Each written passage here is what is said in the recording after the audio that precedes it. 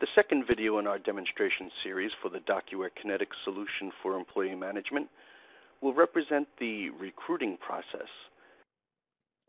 Now that Simon has posted this position and it is available for people in the public to see, he's going to begin to get resumes and applications for this position. So there is available now, in this case, an online application form which I've filled out much of already. Uh, this is simply follow, it's a DocuWare form. It can be simply specified using a link, much as the uh, new hire requisition form was. It could be posted on the corporate site on the careers page or uh, made available through an internet an intranet site for internal employees to uh, send in applications. But anyway, the document is filled out based on the title of the position being applied for, first name, last name, all of the pertinent information is, is put in here. And then there, it is required that a resume is attached and there's also a place to uh, attach references if some are available. And we just go ahead and submit this form. What happens now is the HR department, in this case Simon Stone, is going to be notified by virtue of another task, indicating now that there is a new application for review. So he can look at this document and either accept or reject it, and that would simply put a stamp on it and determine when the document uh, meets its retention date. but this document would now get stored into the file cabinet so it's available uh, for him to review at later times or whenever there's a position open. And in this case, we do have a position open. Resumes can also be brought into the system using traditional DocuWare methodology like dragging and dropping uh, or potentially even just uh, taking it from a uh, an email account where you could have uh, an email connector bring the document automatically into the tray. But I'm just going to drag and drop in a resume in here and we'll go through the store process now. So Joe's resume is now stored in my tray and I have a store dialog that I can now execute in order to put it into the file cabinet.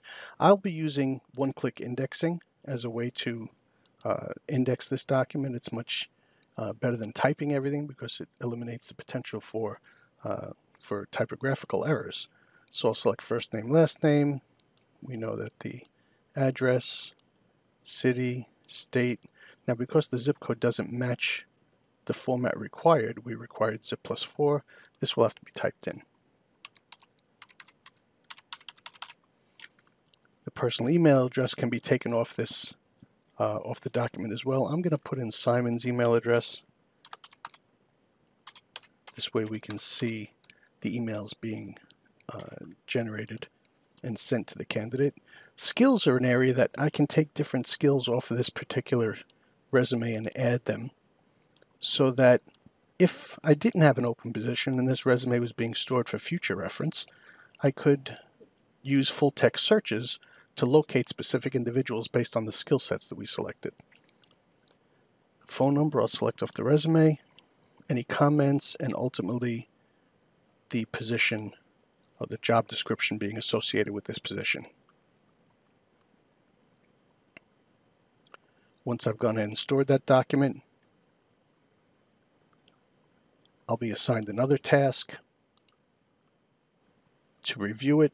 And at this point, I can either assign it to a decision maker to go on to the interview process or reject the, e the email or reject the resume outright.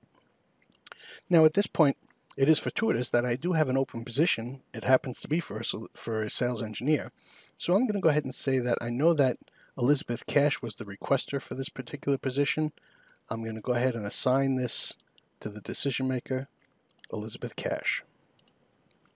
This is going to begin a back and forth process where now Elizabeth is assigned the task of reviewing this resume to determine if she wants to bring this uh, candidate in for potentially a face-to-face -face interview or maybe review them on the phone or just even has the opportunity to reject it outright with no follow-up or assign it to somebody else to make the decision. We're going to start off though by doing a phone interview. And what she needs to do at this point is any kind of instructions that she might have for the uh, for the candidate that can be passed along, or I'll just say we're going to do phone interview, and then provide uh, three dates and times that she would be available to do this interview. Now, the reason why she's providing three is because she's not actually reaching out to and contacting the uh, the candidate. All correspondence and all contact with the candidate is done through the HR department. So what happens now is this, as I said, is going to get flipped back to the HR people. And what Simon Stone needs to do at this point is contact the candidate and determine what's the best date and time out of the three options that will work for all the parties. Now let's say at this point the third at 2 o'clock is going to work. So the agreed upon date and time becomes 8-3 at 2. Oops. That's confirmed. And this now goes back to, yep, Elizabeth. Because now she has the task of making a decision. At this point, she receives an email that indicates she's got a calendar event uh, on this on the uh, decided upon date and time to have a phone discussion with uh, with this candidate. Meanwhile, the candidate has also received an email indicating that he's got uh, a phone interview with Elizabeth on that same date and time. So she must decide she's going to hire, reject, or potentially do another interview. Now, she liked Joe, but she thinks she needs a little more information. She'd like to get someone else's opinion. So she's going to suggest that Peggy Jenkins, one of her direct reports, uh, does a face to face interview with Joe. So now what's going to happen is Peggy is Peggy's going to become part of the loop.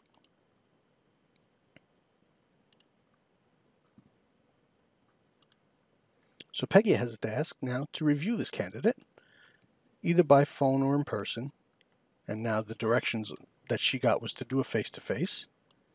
So she, like Elizabeth earlier, needs to come up with three potential dates and time where she'll be available to do this interview. So she'll do the same thing. She'll provide three different dates, and times, and confirm that. And the same thing is going to happen as last time. It's going to go back to HR in order to reach out to and arrange the meeting with the potential candidate.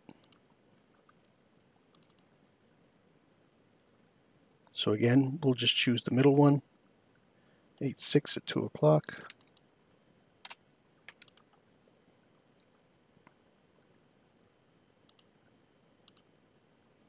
Peggy now has the task of making her decision. Because she has done now the interview, the interview results indicate she is either going to recommend or reject. And either way, she's going to provide her comments because ultimately the decision maker gets involved or gets the results.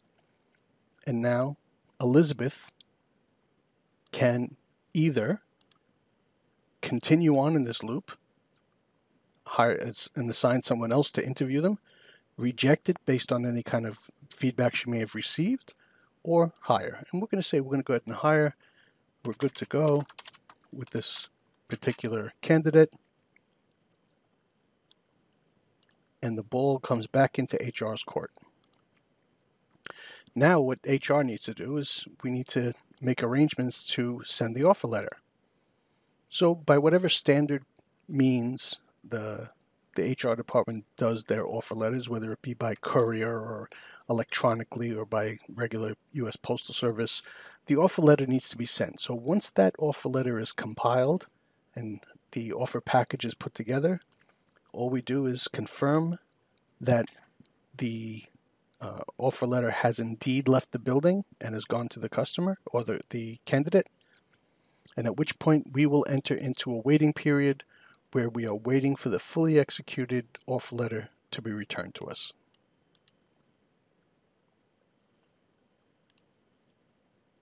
So now we're waiting for the offer letter to come back. Once we do receive it, then we simply agree upon what date uh, the employee will be starting. We'll go ahead and, after a discussion with the employee, or the I guess the new employee uh, will go ahead and enter the agreed upon start date and confirm that. The last thing we need to do is close that open rec. So we have this open requisition that was submitted to start the process. We're going to go ahead and apply a stamp on this that said Joe candidate has filled this position and his start date is September 2nd. That stamp gets put on the document and the open position, the open requisition is closed. Thank you for watching this demonstration. Look forward to our next session, which is onboarding and provisioning.